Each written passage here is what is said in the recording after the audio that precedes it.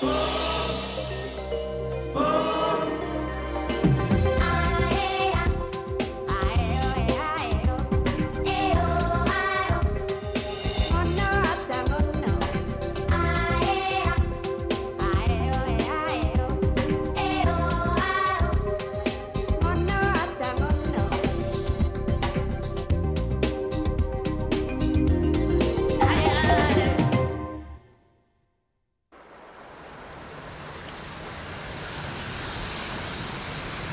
元一八八九年，刘铭传修筑台北到基隆的铁路，铁路修到八堵得竹桥过基隆河。工人里面有几位到过旧金山修筑铁路，淘过沙金，发现河里金沙闪亮，开启了瑞芳侯洞一带短暂的黄金盛世。搭着塑形基隆河的平溪支线，我们重返黄金聚落。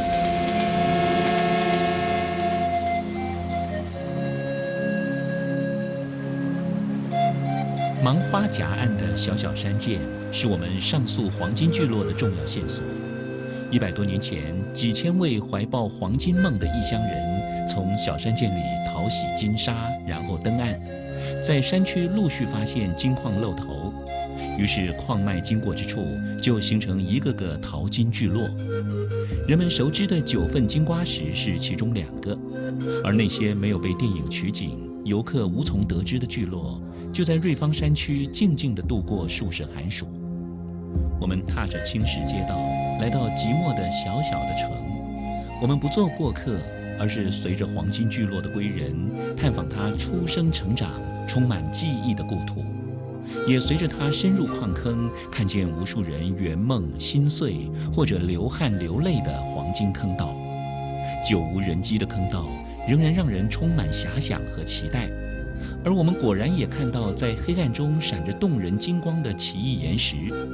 霎时间，大家都被愚人金给愚弄，做了一场短暂的淘金梦。好梦由来最易醒，我们的黄金聚落之行终究是空手而回。其实我们在活动收获十分丰硕，两百年来商旅络绎的淡蓝古道，一百多年前溯溪而来的淘金客，以及二十年前还在坑道里挖煤的矿工。都让猴洞魅力无穷。虽然不舍，我们还是得上路，探索平西县更多动人的风景。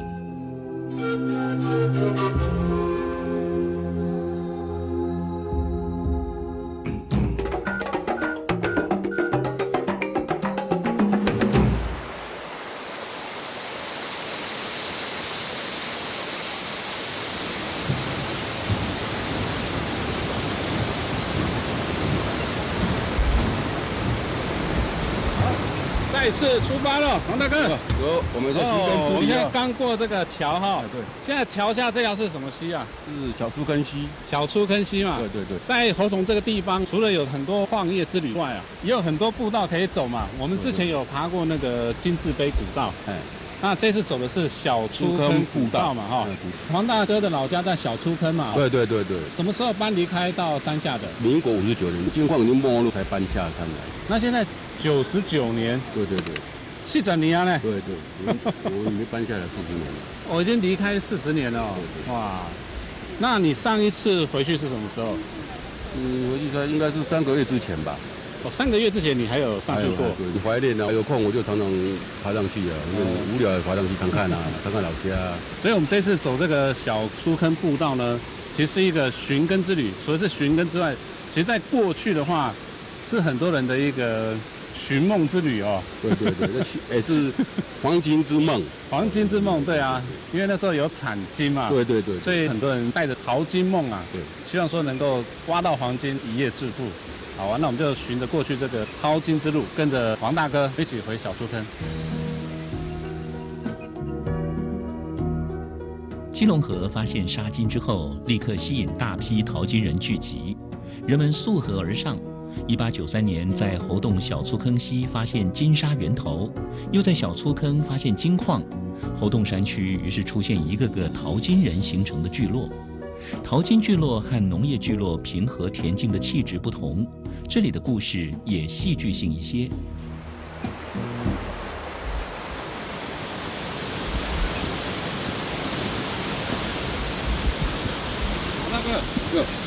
这这步道的路哈很宽呢哈，全就铺这么宽啊，而且很特别就是这个步道的石阶哈，表面都打一个洞一个洞哈，我给你看一下哈，几康几康啊呢？哎，这是会止滑，万一下山的时候怕人家跌倒。哦，对哈，增加那个摩擦力，几康几康啊那哈，因为这边冬天都很潮湿哈，你看都长那个绿绿的青苔了哈，所以下山就会滑。对，像这个步道铺设多久了？我还没有出生之前就有这条路。哦，黄大哥，你还没出生就有这条路了？对对对。哦，所以这个步道是非常久了，所以叫古道是真的啊。对对对。哦，那那时候是谁建造的呢？我这边的住户啊，就是说为了方便，出入方便啊，就是扛些米啊。有有眼财啊，这样子，所以是小出坑聚落的人，对对对，就是一户就是要派一个公差的，对对对，哦，就是大家共同来维修、建造、铺设这条路，对对对对，是这样。所以当时修筑的很好呢，因为第一个很宽了哈，嗯，你看我们这样这么多人，二十五个人哦，可以并排走啊，这一段可以并排走，比一般登山步道还要宽。现在观光局划为古道，哎。以前是会不会要因为挖很多黄金要扛下来？听说还是有啦，还是有人要扛下来的啦。可是步道主要就是要让这个聚落的居民这样进出了哈。对对，还有一些上课的学生，一二年级就在分班上面上课，嗯，在上面有个分班，呃，三四五六都要下来活动国小上课。哦，这样的。所以王大哥，你小时候最早也是在上面的分校对对对分校上课。所以到了比较大的时候，你也要走下来上课。对对。哇，这样一天来回要多久啊？来回有时候肚子饿的时候，就是慢慢走，走到家里差不多一个半钟头。去的话比较快嘛。对对对对对，差不多五分钟就到了。那么快吗？有时候用跳的啊，以前小孩子比较会跳啊。哦。就是一跳都是三阶、四阶、五阶这样子。哦哦，那回来就辛苦了。哦，回来很辛苦了，很辛苦。好，那我们就来体验一下黄大队以前上学的路啊。我们小坡的路况还蛮好的。都打得很漂亮，一个洞。加油加油！加油，大家加油！可以看到火车啊！哇，这边可以看到小出它那个方向哈，有没有起雾？对。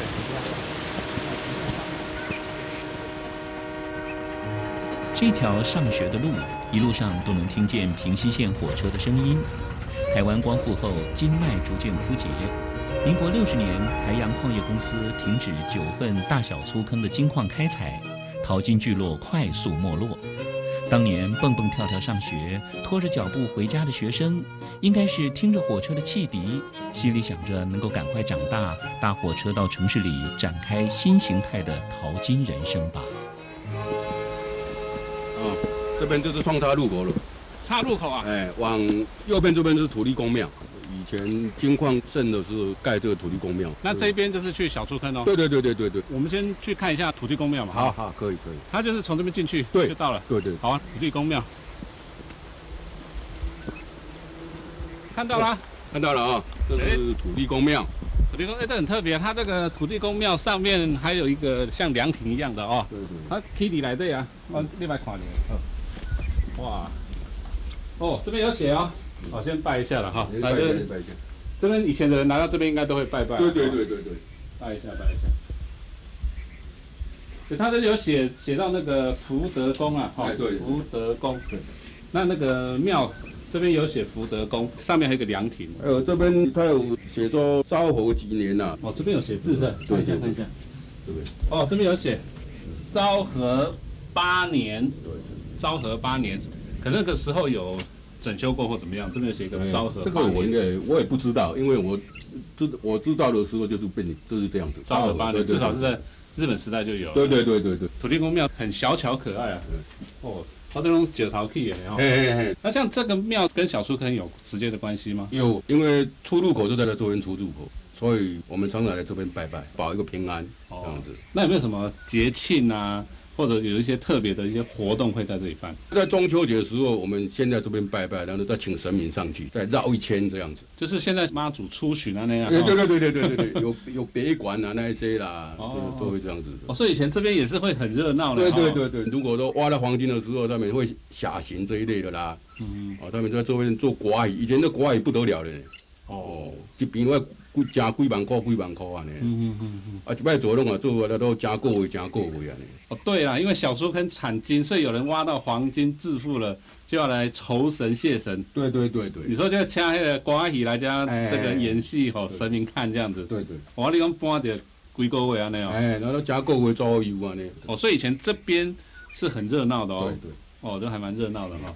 那我们现在看到这个福德宫啊，其实它也是很小，可是它是蛮古朴的哈。你用用石头塔起来呢？呃，它它是就地取材嘛。嗯嗯。因为这个石头是我们这边出产的。嗯。哦，等一下你到小树根去看就知道，说哪里来的这种石头那么大，可以铺桥。哦，就上面这边就有这种石材。对对对对。这上面也有看到有两只龙啊。哦，双龙抢珠。对对对。哦，那这边它也有刻字，福德宫这边。这边也是有写哦，福聚小坑，心未正，哦，小坑就是小出坑这样嘛。对对对对对。那这边有德福厚利应灵神啊，哦，这边有一个对联啊呢，那里面有一个土地公的神像，哦，那有刻字。对。哦，这嘛就固瓦了哈，就固瓦了。外板有这个物件，有点特别，像它这个屋顶啊，是一体成型的，是整块石头刻的，因为我们看不到。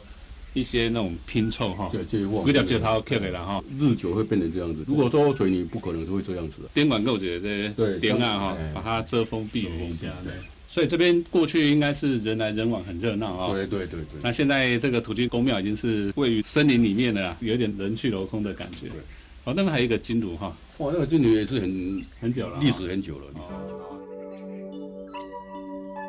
无论是农业还是矿业，都是从土地上赚取财富，所以都敬拜土地公，把它当成财神爷。但是矿业聚落的土地公好像神气一点，小小聚落的庙宇金身相当考究，金炉的规模也不小。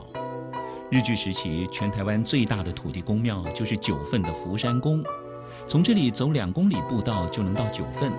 而九份、金瓜石、大小粗坑、大甘岭等地都是同一时期的黄金聚落，也曾经一起没落。但是九份的交通方便，又有电影加持，发展就是和小粗坑不一样。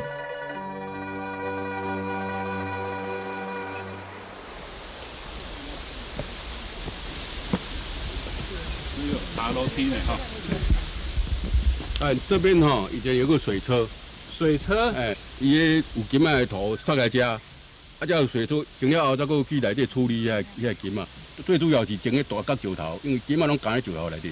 哦，就是采金矿，哎，矿石出来，嘿嘿嘿嘿，还有那个水车为力量哈，带动啊那金，就是打把那个矿石把它打碎，对对，然后再把那个沙金把它掏出来。对对对对对对。哦啊，这边以前有水哦。有啦，就是。小竹跟溪本身就有水，还有你它离也来这金矿来的毛水出来。哦，所以我们从土地公过来一点路程，这边就是有采金的这个设备在这边了啊。对对对对。所以它的矿坑是在这个山区是有很多处的了哈。对，因为小竹坑这一这一矿是算是最最大矿的一一矿，因为这边也有出产那个无烟煤，还有黄金。哦，有有黑金，也有也有黄金，对对。那我们再往前还有其他的设施？有有有有。所以前面那个有楼梯，那是后来帮起的哦。哎，对，弄帮起，弄帮起。就是有土石冲下来，所以现在垫高了嘛。对对，以前都是开车路过来。对对对，都平平的啦，没有没有那么高。哦啊。对。哎，前面好像有看到一个建筑呢。那个是追车，就要将水料阿过来加处理。哦，就前面水车捣碎以后的送来这边处理。对，送送来这。哎，这边还有楼梯呢哈，这楼梯可以上这个。建筑，可是建筑感觉很低啊！你看哦，在上面是二楼，这边是一楼啊。哦，这个以前是两层楼的。对对对对对。怎么看得出来？看起来很低啊。因为这个土石流埋过嘛，啊，所以哦，起码也无人那个经历。哦，啊，这一楼都看不到了呢，哈。还看得到，还看得到，在那边你可以看得到。哎，哦，我带你去看。这边啊？对对对，你看窗户还在，你看。哦，这边有有没有？哦，这窗户呢？哈。对，窗户还在，有没有？哦，有有有。哦，这个窗户，然后还有。铁条了哈，对对对，还有因为这以前是产黄金，所以还有这个铁条。哦，对对对，一楼已经整个被土石埋，所以等于是在底部了。对，在底部。所以以前我抬车道应该是很低的，很低，在下面。对对对，很低。所以我们刚刚上来的时候，还有爬了一个小楼梯上来。哎哎，在这边是处理哪些事情？他有帮你扔物件有无？哦，哦，那叫鹰座，我们讲鹰座。鹰座，哎，鹰座鹰了后，过过一个动作用，爱爱用手镯啊，过油过，金麦才造出来。哦，啊，金仔造出来了，再用水就把它来提过来，哦，按那按那个变金嘛。哦，所以这边等于是处理这个黄金的一个地方。对对。你头讲的英子，就是以前我们在秀姑兰山会经过那个中央金矿。那边有看到一个，它那有一个弧形啊，对对对对对对对，还有点点奶，哎，对对对，有一个那个像水一个槽一样，还是用卡打的嘛，有卡打的用来用起用来用起，把它碾碎。这个地方我们叫做库拉丁，库拉丁啊，就专门咧处理这个金买物件，库拉丁。库拉丁，它监管呢，二楼嘞，它有做一个沙金的分局。金分局哦，它是要做什么用的？如果上面做金矿的时候，要炸药的时候要来这边领，还有以前有保险这一类的，也要在在在这边保。哦，所以以前开这个金矿要用炸药去炸嘛，哈。对对。所以要来这边领这个炸药。对。哦，所以它这有管制的哟。有管制，炸有管制。管制。那像这个要要有采矿权才可以来这边开嘛？对对。哦。你要有证件的才能领。要有证件。对对对。要有牌照这些。对对对。等于是一楼是。类似工厂，就是炼金的地方。对，那二楼就是有一些办公的室，嗯，就领这个炸药啊，哦，还有劳保那一些啊，以前就有劳保了。我以前就有劳保。这边以前是一个重要的关卡哦。对。现在上面只剩一个平台了哈，所以这个步道这些是后来制造的啊。我们有一个灵机，慢慢把它铺起来，这样哦。所以我们现在已经不是绕过一楼，是直接跨越这个二楼，对对，走上去。矿坑在那边嘛，啊，以前里面就生产无烟煤跟黄金啊，黑金、黄金都有。对对，都有都有。哇，这个坑很好呢，哦哦，挺赞哦。那以 以前我们叫它为五分坑，五分坑，五分坑。哎，以前小时候常常来这边玩呐，推车这样子玩，很好玩。哦，所以以前黄金开采出来是在这边炼完才会拿出去卖。对。哦，不是说再运到外面再去，最后加工。不会不会。就今麦人因早的时阵，大家出去，今麦拢好野人啊。哦，出去也拢好野人。因为讲大家 大这个部落搁种的，拢无啊啦。哦，所以较早嘛，这些人讲有好野的，能搬出去。有，原来有好野的。好野。一八九四年，台湾割让前一年，清朝把金矿开采权收回官营，在小粗坑和九份设置金沙分局。日据初期只允许日本国民领照采金，但是日本商人管不住抗日民众和淘金人，只好委托严云年承租小粗坑矿权。接着，严云年又接手大粗坑、九份、金瓜石等地矿权，开创台阳矿业与基隆严家的宏图大业。根据官方资料，金九大小粗坑等地历年来生产黄金大约一百公吨。专家推估，实际可能出产了六百公吨黄金，比中央银行储备的黄金还多十几万公斤，真是富可敌国了。活动国小位于台北县瑞芳镇九琼桥路金字碑古道践行步道入口。日据时期的一九四零年，由大粗坑、小粗坑、三雕岭、瑞三等四个国语讲习所合并为侯洞公学校。民国八十九年，象神台风带来大量雨水，土石流重创校园。民国九十四年，新校舍完工启用，目前一到六年级及幼稚园各一班，学生人数不及百人。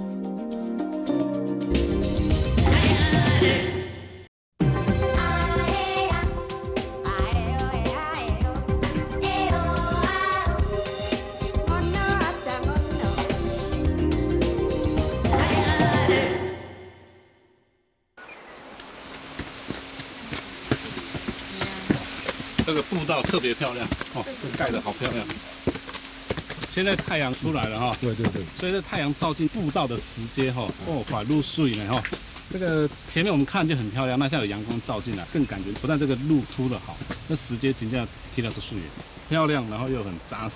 现在步道这里水嘛，哎，首先要感谢他们有金的人出出啊钱来报道这。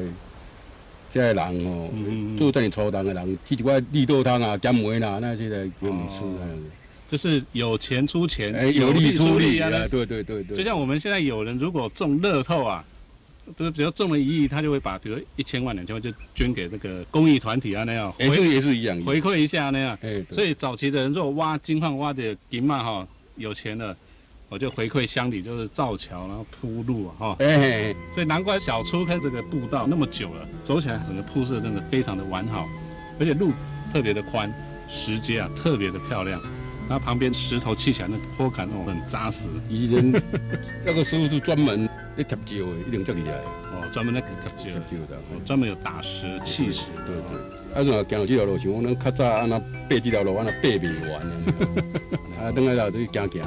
等来看看，呃，过倒来就讲一寡较早的历史安尼，讲较早做囡仔历史安尼，较快乐安尼哈。所以黄大哥是一个非常念旧习情的人呐。好啊，那我们就赶快回你的老家去，走吧，听你讲一些老家的事情啊。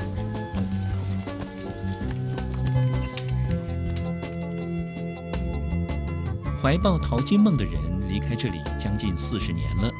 小粗坑的气氛景致已经不像是冒险者和投机客来来去去的黄金聚落，更像是郑愁予诗里那座铺着青石街道的寂寞小城。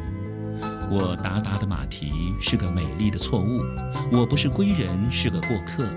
只是黄大哥却不是过客，而是深情的归人。琼音再次响起，小粗坑会不会因为我们的造访而不再寂寞呢？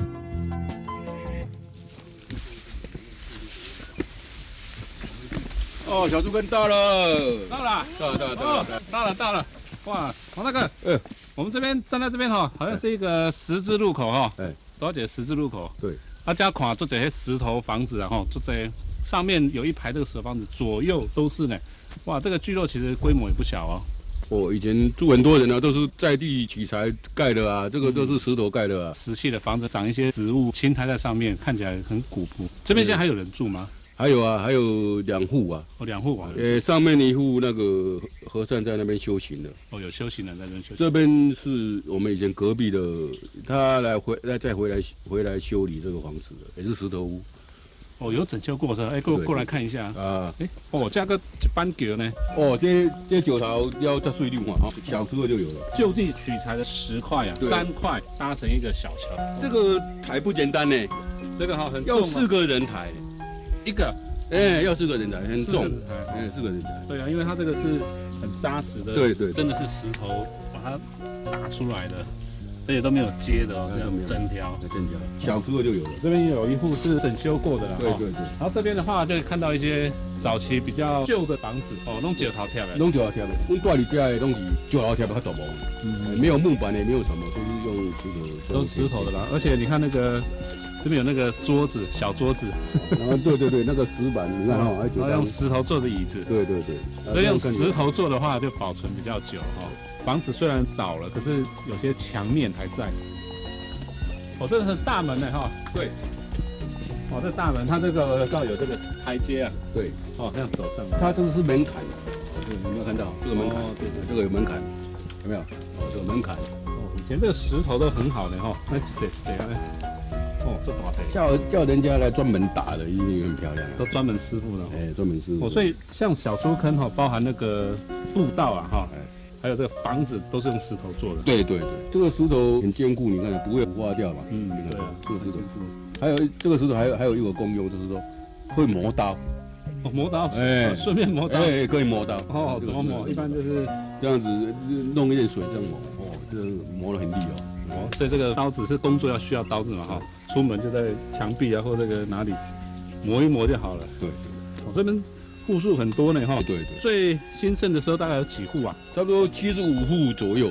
七十五户啊，有两年在。这边就是邻居了哈。哎，这边是我们以前的邻居，假日他们兄弟姐妹都会回来。我这边就是有整修过了。有整修过，以前就是油麻砖的房子，不知道怎么会发生火警，把房房子烧掉了。嗯嗯。然后再回来再重修。你看这个，尤其这个，哎。这个是水槽的，不是，这个是以前养猪的，弄弄弄给猪出，猪养猪的东西。哦，养猪等于是猪的那个碗一样了。哎，低轴，我们台语叫低轴。低轴就是那喷坑底下回家呢。对对对对。哦，它利用来当这个水槽，这里在规划嘛。哎，还有水。哎，对对对，他们利用这个养猪，那边有打一个洞吧？哦，这里打一个洞啊，那水就这样流出去。对对对对。哦，这利用还蛮特别的哈。这怀尊住也是蛮不错的呢。对对对对，环境很好，群山环绕，然后就坐落在比较平的一个地方，很多房子都在这边。哦，那就恭喜这个黄大哥啊，回到老家了。对啊，对啊，再看看呢，我也希望这样子。黄大哥，我记得你说有在这边念书嘛？有有有，学校就在那边，我们在那边读分班，是一二年级的分班。哦，一二年级的。对，哎，那我们过去看一下。好，走。看一下这个黄大哥小时候念书的地方。学堂是分班哦，不是分校哦。这个小出坑聚落很特别，因为都是石造的这个房子哦。我们可以看到石砌的这个步道啊，还有两旁都可以看看看到那个过去的这个石头砌的这个房子。那虽然屋顶大概都塌掉了，可是它这个石墙啊、窗户、门都还非常的清楚。所以这路哦，非常非常的宽呢。黄大哥，这两边都是住户嘛，哈。对对对。哦，这个住户你都认识吗？都认识，都认识，都是认识的哈。都认识。这全部都搬下山了。都搬下山了，有的搬到天母去了，有的搬到戏子去了啦，都很多都散掉了啦。搬到天母，那应该是有挖到黄金的，才会搬到天母啊。丢金嘛都惊人灾啊，都怕人家知道。他们赚到金子，我丢金嘛我嘛不啥了解。这可以想象，现在中这个乐透啊，马上就搬家了。连夜搬家啊！有个人得乐透，连夜搬家都无去啊！啊，亲朋好友拢找我啊！对啊，所以说我们也不没有什么了解，说他们到不要到底有没有骨头筋嘛，无条筋嘛，无什么了解。大概是看暗看之类的。对啊，一一般拢会拢会但你那你创金的时阵，大家拢嘛暗时再去创啊，拢无人知。哦，有的时候。那个白天工作，晚上还偷偷的去，好再再做一点这样子。对对对。哎，这个有这个门是到了吗？这学校小树跟那个分班到了啦。哦，学校的大门是吧？对对对，这个是学校的大门。学校大门到了，它前面也是有一个比较短的小桥。对。哦，也是以前就是都有的嘛，哈。对。这个石头更厚，你。对，这个更厚。有没有看到？可以进到学校里面看。可以可以。哦，这个是以前的那个那个学校门门的那个，还有那个门柱了哈，这也有。你看这边，你看这都有尖尖的，你看哈，这代表是一个门哦，这个一个门。嗯，上面是尖的哈。哎，对，像像金字塔一样尖尖的。对。哎，以前有这个门吗？有有有这个门，是木头的。呃，对啊，用木头这样一格一格那个那个木头有没有？就是学校如果说上上课的时候，把它先关起来。一个门，现在进来，那这边应该就是所谓操场了。对对，这边操场，这边这这操场。哎，这还有荡秋千呢。这个后来他们才做的吧？这比较后面做的。就后面做的。哇，那这边黄大哥应该有你很多这个小时候的回忆哦。哇，我们一二年级就读这里啊。哦，这这个是教室了啊。这个是教室，教室，教室看起来不是很大了哈。但但是它是只是分班，一二年级的分班。一二年级哦，那我们进来看一下。那这边看到这个广场在门口，那就是操场。那我们现在进来就是教室，好在教室。瑞芳位于台北县东北角，地质上属于基隆火山群的一部分，地理位置则依山面海，季风强烈，雨量丰沛。当地人就地取材，以火山形成的安山岩为建材修筑房舍，屋顶铺油毛毡防水。成为经久耐用的石砌房舍，而靠海地带如南雅渔村，则以砂岩砌墙，是另一种石砌屋舍。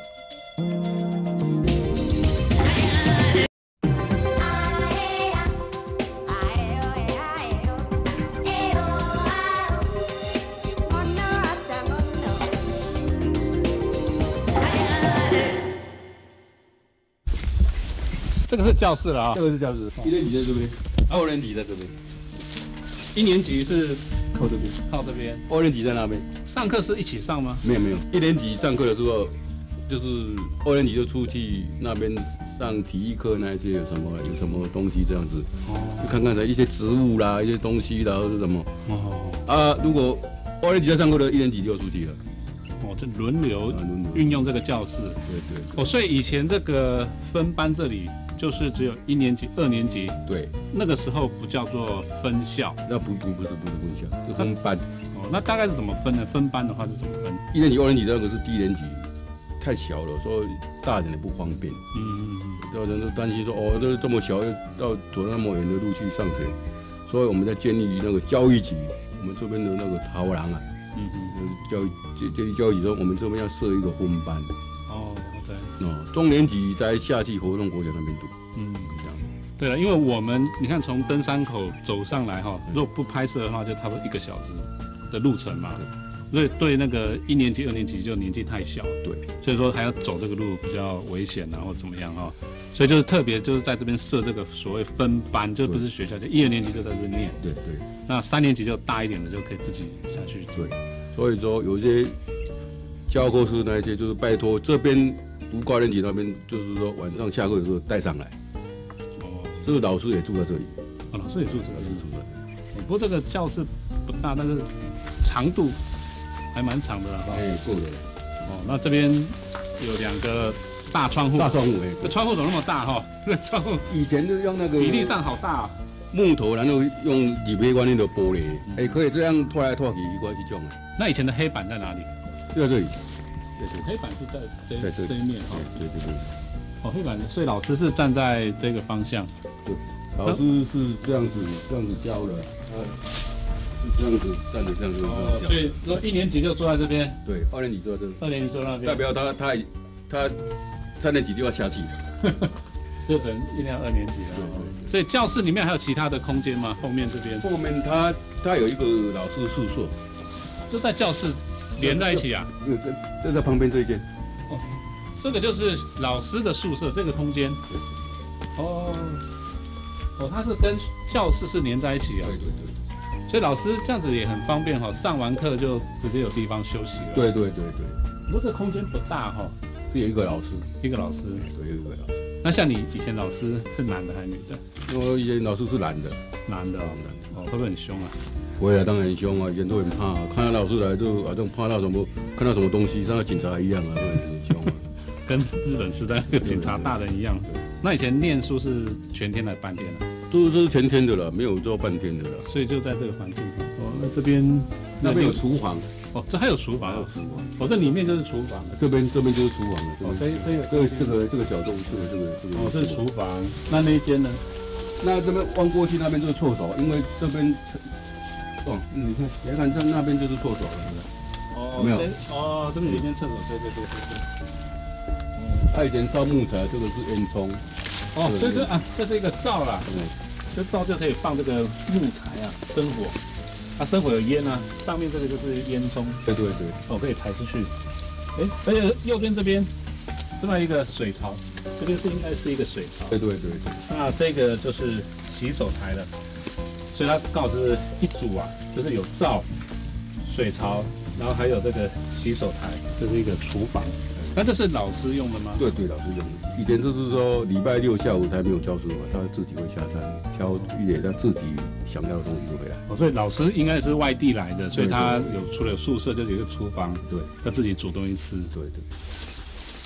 那你你还记得你班上有几个人吗？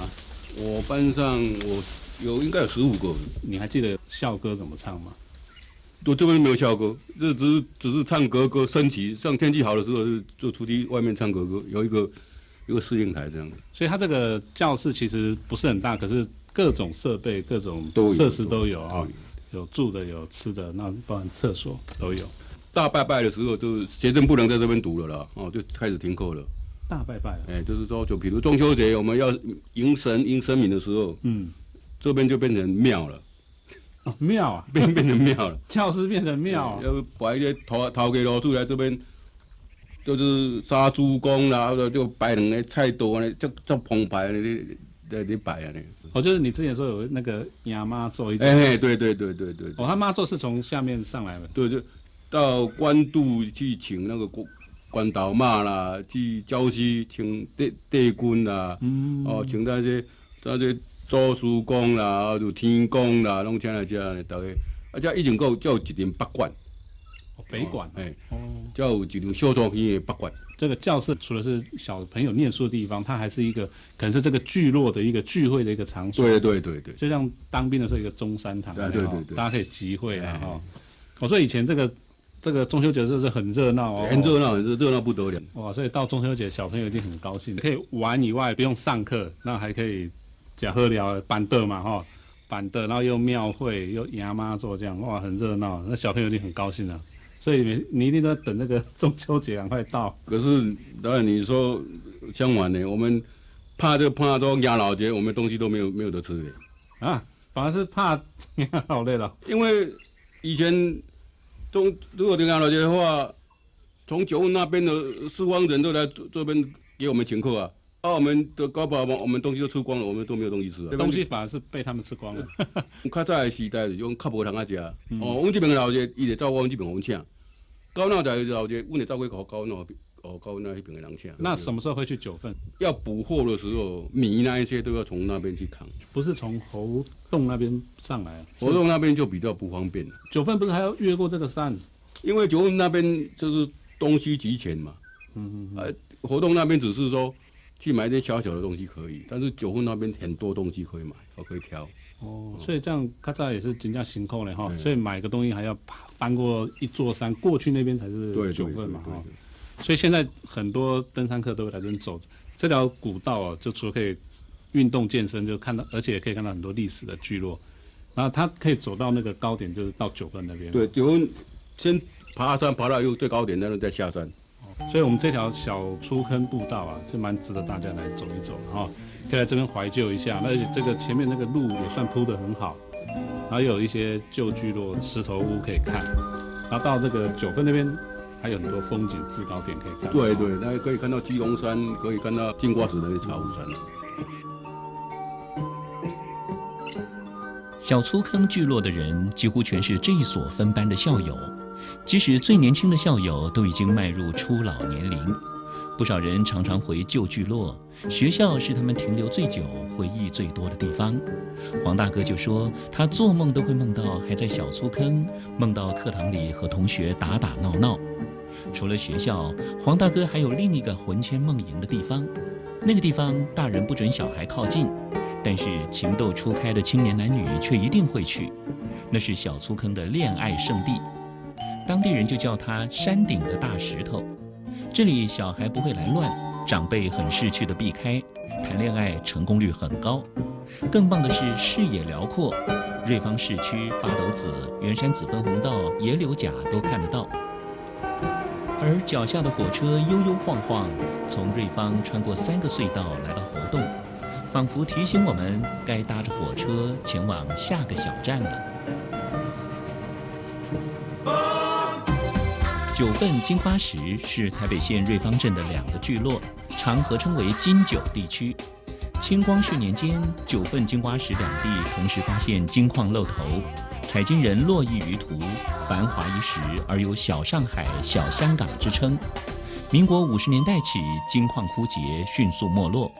民国八十年代，又因为《悲情城市》等多部电影而成为观光景点，金九风华再现。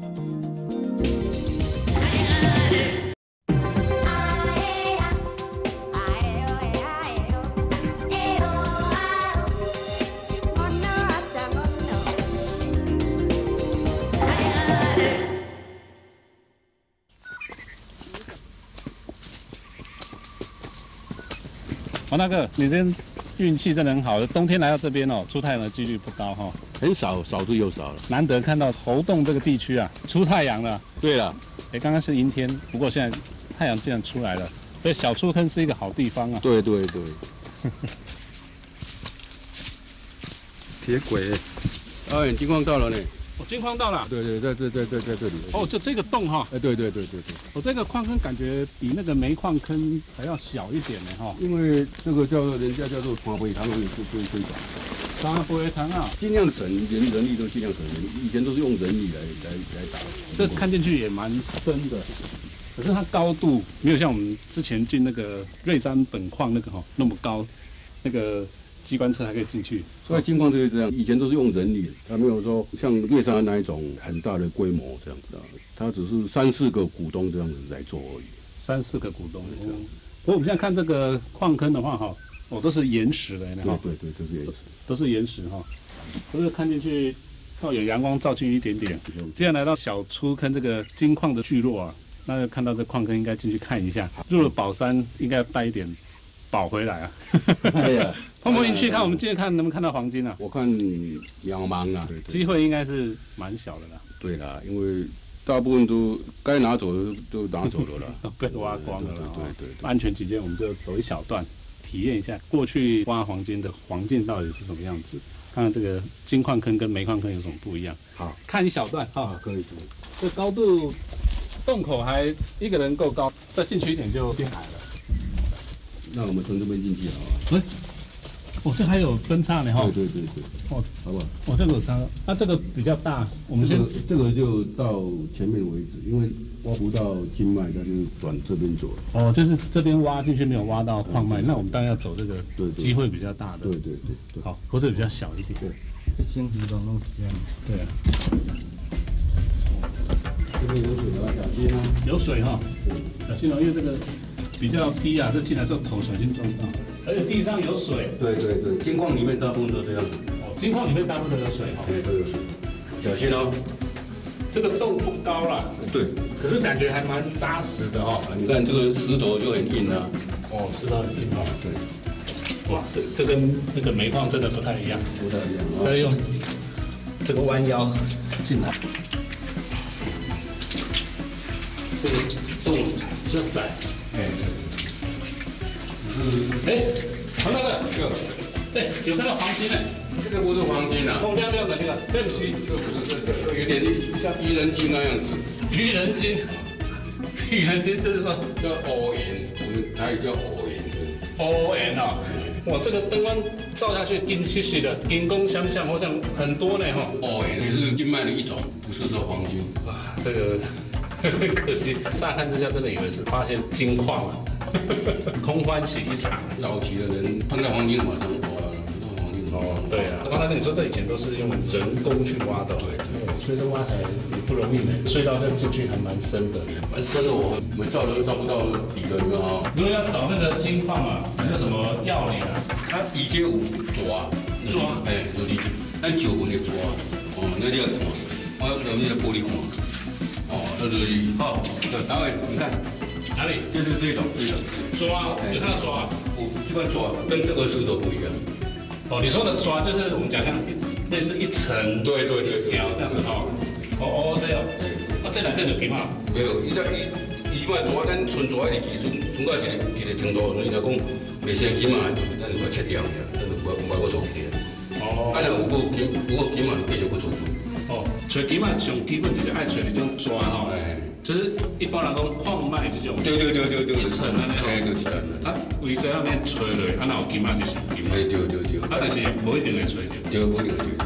你若较好运的就是讲水做水，啊，较歹运就是讲做几年以后会做金。嗯，也要有这个运气的，或者人家说要有这个福报啊。对对对。今天我们走了一段黄金的矿脉啊，虽然没有挖到黄金，可是也体验到这个矿坑的感觉啊。每个都有这个淘金梦，但是不一定都能够实现，也是蛮辛苦的。你要挖黄金这一类的，也是蛮辛苦的。我们这一群人里面，谁也没中过大奖。这一趟金矿之行，没有人心存指望，所以也就没什么好失望的了。当年矿坑里挤满怀抱希望的淘金客，如今蛛网成风，油盐搜来搜去，是金矿还是土矿，都已经没有分别。当我们弯着腰钻出矿坑，倒是有点意外的惊喜。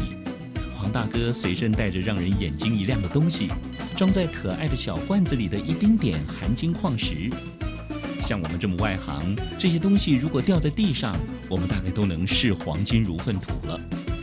离开金矿的时候，猴洞难得的太阳已经下山。据说以前采金人想发横财，总在夜里活动。不过我们注定没有横财命，还是下山比较实在。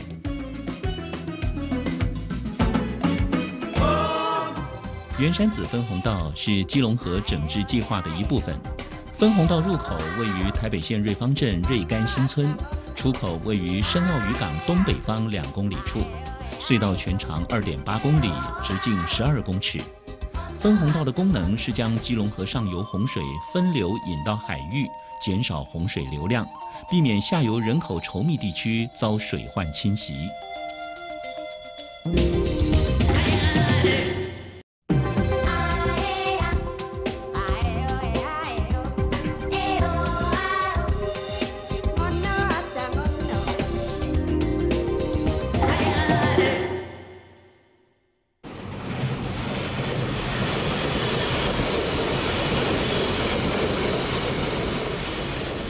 你好。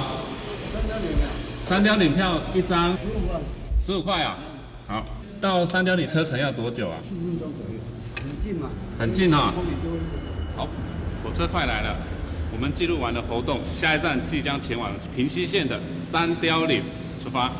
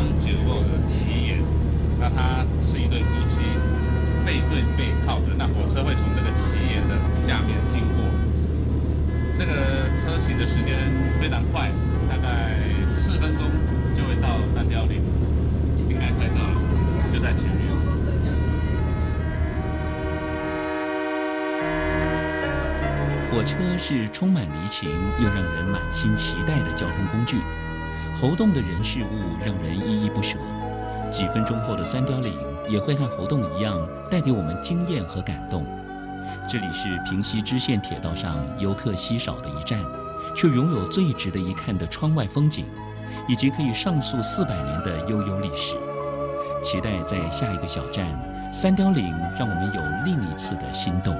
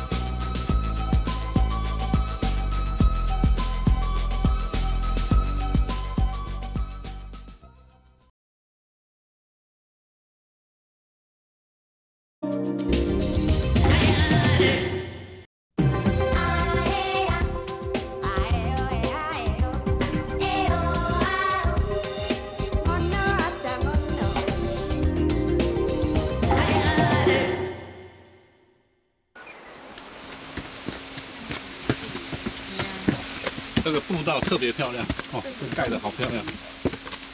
现在太阳出来了哈，对对对，所以这太阳照进步道的石阶哈，哦，法露水呢哈。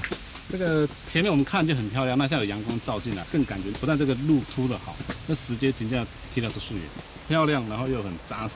现在步道这里水嘛，哎，首先要感谢他们有金的人出出啊钱来报道这。这些人哦，做这里粗重的人，提一块绿豆汤啊、姜梅啦那些的给我们吃。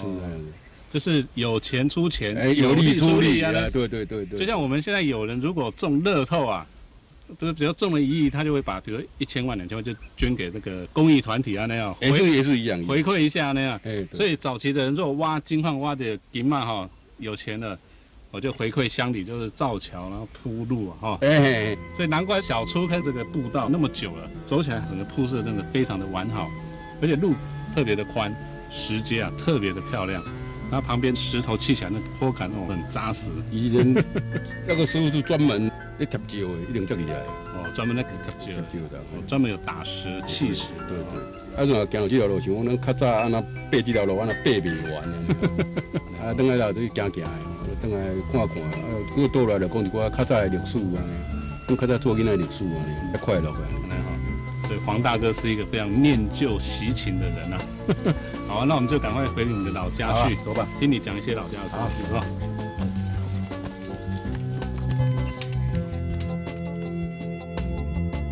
怀抱淘金梦的人离开这里将近四十年了，小粗坑的气氛景致已经不像是冒险者和投机客来来去去的黄金聚落，更像是郑愁与诗里那座铺着青石街道的寂寞小城。我达达的马蹄是个美丽的错误，我不是归人，是个过客。只是黄大哥却不是过客，而是深情的归人。琼音再次响起。小粗坑会不会因为我们的造访而不再寂寞呢？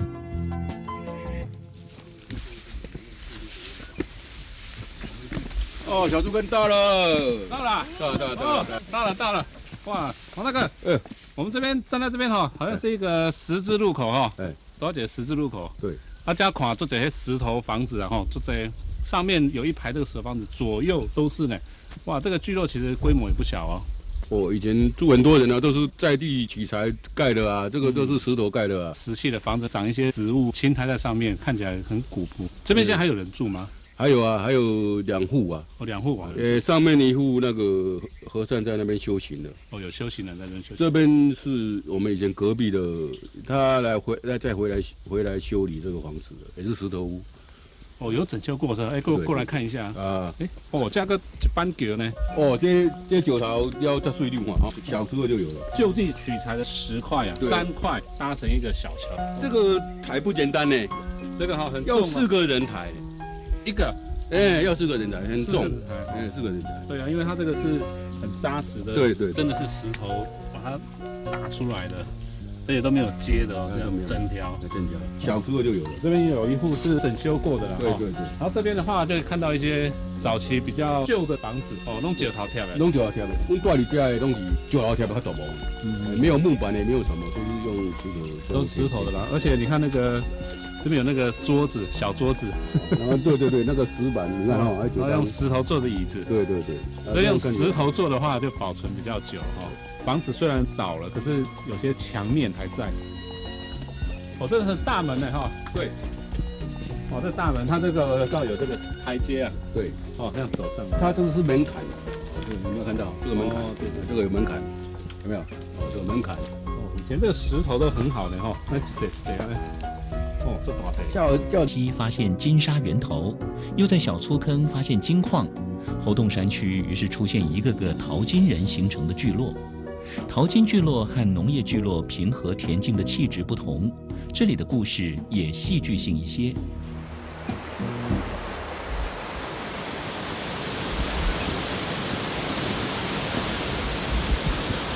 那个，这些步道的路哈很宽呢哈，全就铺这么宽啊，而且很特别就是这个步道的石阶哈。表面都打一个洞一个洞哈，我给你看一下哈，几康几康啊呢？哎，这是会止滑，万一下山的时候怕人家跌倒。哦，对哈，增加那个摩擦力。几康几康啊呢哈，因为这边冬天都很潮湿哈，你看都长那个绿绿的青苔了哈，所以下山就会滑。对。那这个步道铺设多久了？我还没有出生之前就有这条路。哦，黄大哥，你还没出生就有这条路了？对对对。哦，所以这个步道是非常久了，所以叫古道是真的啊。对对对。哦，那那时候是谁建造的呢？我这边的住户啊，就是说为了方便出入方便啊，就是扛些米啊，有有盐柴啊这样子。所以是小出坑聚落的人，对对对，就是一户就是要派一个公差的，对对对，哦，就是大家共同来维修建造铺设这条路。对对对对，是这样。所以当时修筑的很好呢，因为第一个很宽了哈。嗯。你看我们这样这么多人，二十五个人哦，可以并排走啊。这一段可以并排走，比一般登山步道还要宽。现在观光局划为古道，哎，以前是会不会要因为挖很多黄金要扛下来？听说还是有啦，还是有人要扛下来的啦。可是步道主要就是要让这个聚落的居民这样进出了哈。对对，还有一些上课的学生，一二年级就在分班上面上课，嗯，在上面有个分班，呃。三四五六都要下来活动国小上课。哦，这样子，所以王大哥，你小时候最早也是在上面的分校对对对分校上课，所以到了比较大的时候，你也要走下来上课。对对。哇，这样一天来回要多久啊？来回有时候肚子饿的时候，就是慢慢走走到家里，差不多一个半钟头。去的话比较快嘛？对对对对对，差不多五分钟就到了。那么快吗？有时候用跳的吧，以前小孩子比较会跳啊。哦。就是一跳都是三阶、四阶、五阶这样子。哦哦，那回来就辛苦了。哦，回来很辛苦了，很辛苦。好，那我们就来体验一下王大哥以前上学的路啊。我们下坡的路况还蛮好的，都打得很漂亮一个桩。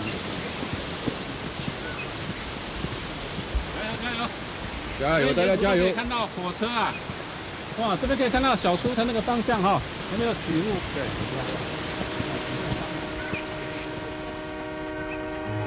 这条上学的路，一路上都能听见平西线火车的声音。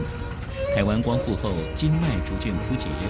民国六十年，台阳矿业公司停止九份大小粗坑的金矿开采，淘金聚落快速没落。当年蹦蹦跳跳上学、拖着脚步回家的学生，应该是听着火车的汽笛，心里想着能够赶快长大，搭火车到城市里展开新形态的淘金人生吧。啊，这边就是双叉路口了。岔路口啊？哎，往右边这边是土地公庙。前金矿盛的时候盖这个土地公庙，那这边就是去小猪坑哦。对对对对对对。我们先去看一下土地公庙嘛。好好，可以可以。他就是从这边进去，对，就到了。对对。好啊，土地公庙。看到了。看到了啊，这是土地公庙。土地公哎，这很特别，它这个土地公庙上面还有一个像凉亭一样的哦。对对。它基地来对啊，我另外看的。哇。哦，这边有写哦。好，先拜一下了哈。拜一下，拜一下。这边以前的人来到这边，应该都会拜拜。对对对对对。拜一下，拜一下。他这有写写到那个福德宫啊，哈。对。福德宫。对。那那个庙这边有写福德宫，上面还有个凉亭。呃，这边他有写说昭和几年呐。哦，这边有写字是？看一下，看一下。对。哦，这边有写昭和八年。对。昭和八年，可那个时候有。整修过或怎么样？这边写一个昭和。这个我应该我也不知道，因为我知我知道的时候就是被你就是这样子。昭和八年，至少是在日本时代就有。对对对对对。土地公庙很小巧可爱啊。哦，好这种九桃 K 哈。那像这个庙跟小苏坑有直接的关系吗？有，因为出入口就在这边出入口，所以我们常常来这边拜拜，保一个平安这样子。那有没有什么节庆啊？或者有一些特别的一些活动会在这里办，在中秋节的时候，我们先在这边拜拜，然后再请神明上去，再绕一圈这样子。就是现在妈祖出巡啊那样。对对对对对对对，有有别馆啊那一些啦，都都会这样子。哦，所以以前这边也是会很热闹的。对对对对，如果说挖到黄金的时候，他们会下行这一类的啦。嗯哦，他们在这边做寡语，以前的寡语不得了的。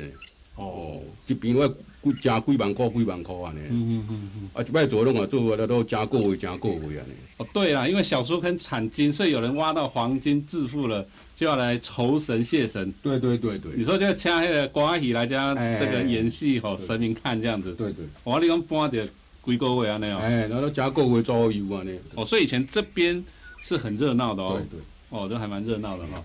那我们现在看到这个福德宫啊，其实它也是很小，可是它是蛮古朴的哈。一路用石头塔起来呢？呃，它它是就地取材嘛。嗯嗯。因为这个石头是我们这边出产的。嗯。哦，等一下你到小树根去看就知道，说哪里来的这种石头那么大，可以铺桥。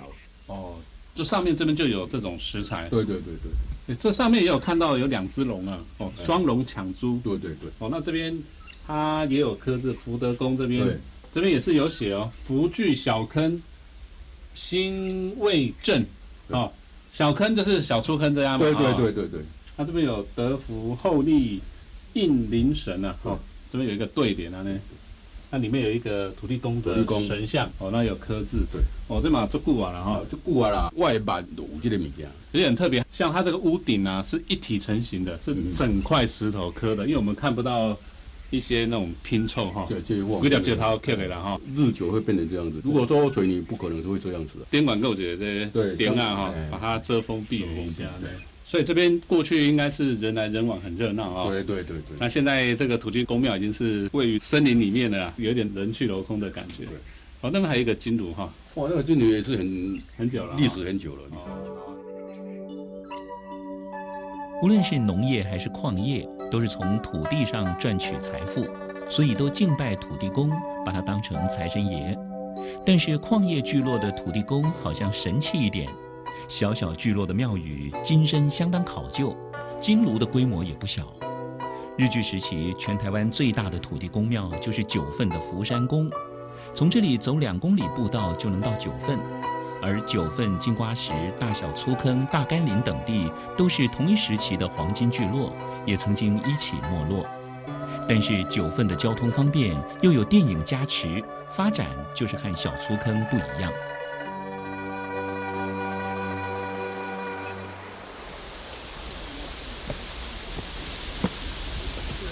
有爬楼梯呢哈。哎，这边哈以前有个水车。水车，哎，伊迄有金仔的土塞来遮，啊，才有水车，种了后再搁去内底处理遐遐金啊。最主要是种个大角石头，因为金仔拢干咧石头内底。哦，就是采金矿，迄，矿石出来，嘿嘿嘿嘿，还有那个水车为力量哈，带动啊那金，就是打把那个矿石把它打碎，对对，然后再把那个沙金把它掏出来。对对对对对对。哦啊，这边以前有水哦。有啦，就是。小猪跟溪本身就有水，还有你它你也来的金矿来的毛水出来。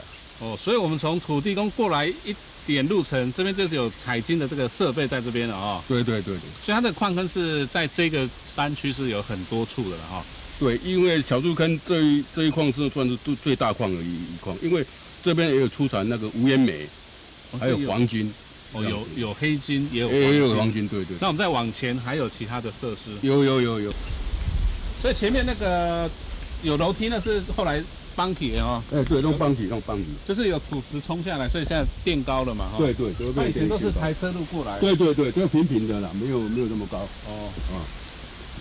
对。哎，前面好像有看到一个建筑呢。那个是追车，就要将水料阿过来加处理。哦，就前面水车捣碎以后的送来这边处理。对，送送来这。哎，这边还有楼梯呢哈，这楼梯可以上这个。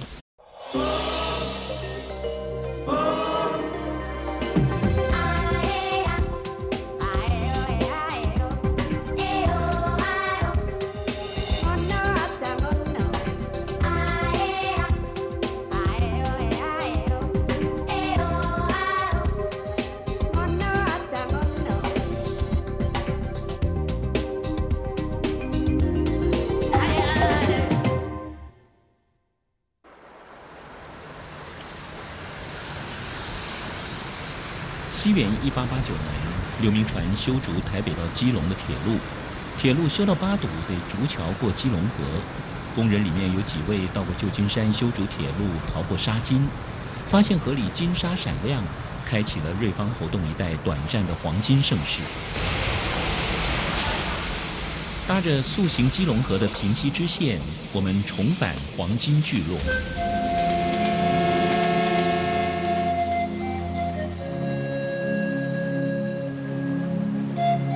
芒花夹岸的小小山涧，是我们上溯黄金聚落的重要线索。一百多年前，几千位怀抱黄金梦的异乡人，从小山涧里淘洗金沙，然后登岸，在山区陆续发现金矿露头，于是矿脉经过之处，就形成一个个淘金聚落。人们熟知的九份金瓜石是其中两个，而那些没有被电影取景、游客无从得知的聚落。就在瑞芳山区静静地度过数十寒暑。我们踏着青石街道，来到寂寞的小小的城。我们不做过客，而是随着黄金聚落的归人，探访他出生成长、充满记忆的故土；也随着他深入矿坑，看见无数人圆梦心碎或者流汗流泪的黄金坑道。久无人迹的坑道，仍然让人充满遐想和期待。而我们果然也看到，在黑暗中闪着动人金光的奇异岩石。霎时间，大家都被愚人金给愚弄，做了一场短暂的淘金梦。好梦由来最易醒，我们的黄金聚落之行终究是空手而回。其实我们在活动收获十分丰硕。两百年来商旅络绎的淡蓝古道，一百多年前溯溪而来的淘金客。以及二十年前还在坑道里挖煤的矿工，都让猴洞魅力无穷。虽然不舍，我们还是得上路，探索平西县更多动人的风景。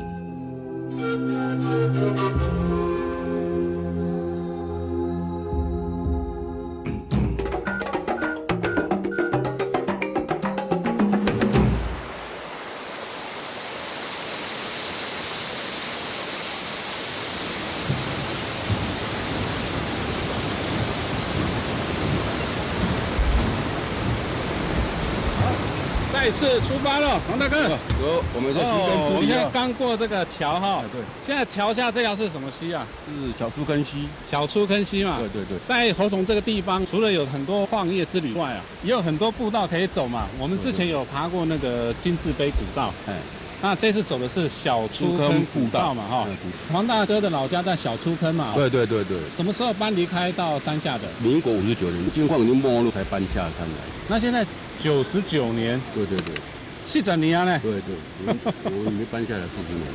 我已经离开四十年了哦。哇，那你上一次回去是什么时候？嗯，我记得应该是三个月之前吧。哦，三个月之前你还有上去过？对，怀念啊，有空我就常常爬上去啊，因为无聊也爬上去看看啊，看看老家啊。所以我们这次走这个小出坑步道呢，其实是一个寻根之旅。除了是寻根之外，其实在过去的话，是很多人的一个寻梦之旅哦。对对对，那是也是黄金之梦。黄金之梦，对啊，因为那时候有产金嘛。对对对，所以很多人带着淘金梦啊，对，希望说能够挖到黄金，一夜致富。好啊，那我们就循着过去这个淘金之路，跟着黄大哥一起回小树坑。基隆河发现沙金之后，立刻吸引大批淘金人聚集，人们溯河而上。一八九三年，在侯洞小粗坑建筑，这个建筑感觉很低啊。你看哦，在上面是二楼，这边是一楼啊。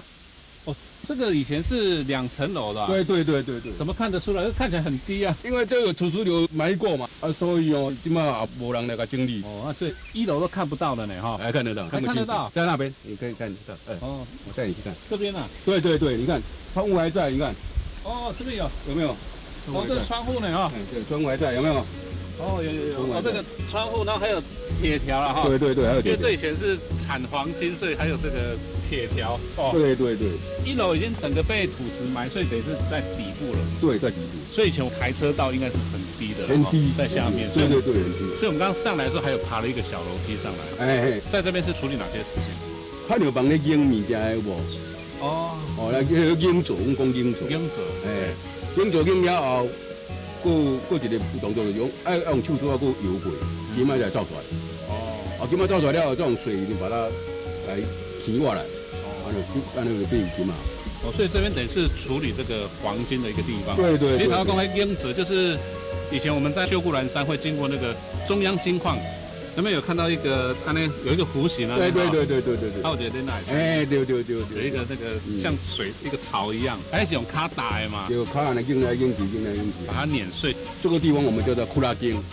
库拉丁啊。就专门咧处理这个金脉物件，库拉丁。库拉丁，它监管呢，二楼嘞。它有做一个沙金分局。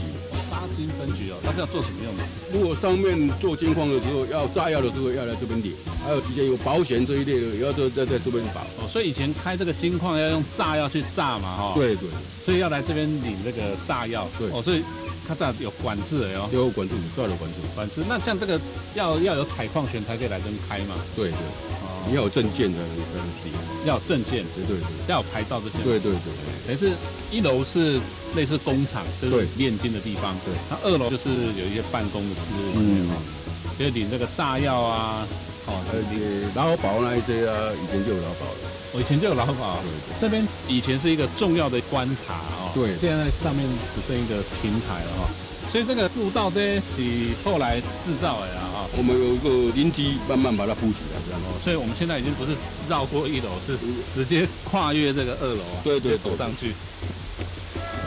矿坑在那边嘛，啊，以前里面就生产无烟煤跟黄金啊，黑金、黄金都有。对对，都有都有。哇，这个坑很好呢，哦哦，真赞哦。那以以前我们叫它为五分坑，五分坑，五分坑。哎，以前小时候常常来这边玩啊，嗯嗯，推车这样子玩，很好玩。哦，所以以前黄金开采出来是在这边炼完才会拿出去卖。对，哦，不是说再运到外面再去最后加工。不会不会，就今麦人因早的时候早要出去，今麦拢好野人。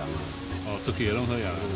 因为讲大家大这个部落搁进来，拢无啊啦。哦，所以较早嘛，这个人讲有好野的，能刮出去。有，原来有好野的。好野。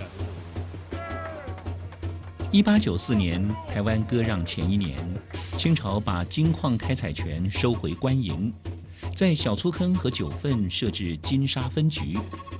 日据初期只允许日本国民领照采金，但是日本商人管不住抗日民众和淘金人，只好委托严云年承租小粗坑矿权。接着，严余年又接手大粗坑、九份、金花石等地矿权，开创台阳矿业与基隆严家的宏图大业。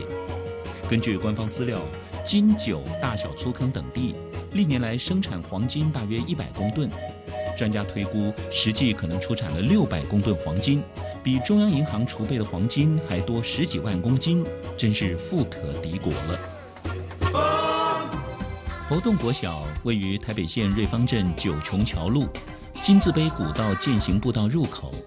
日据时期的一九四零年，由大粗坑、小粗坑、三雕岭、瑞三等四个国语讲习所合并为猴洞公学校。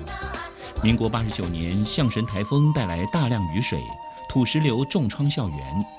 民国九十四年，新校舍完工启用，目前一到六年级及幼稚园各一班，学生人数不及百人。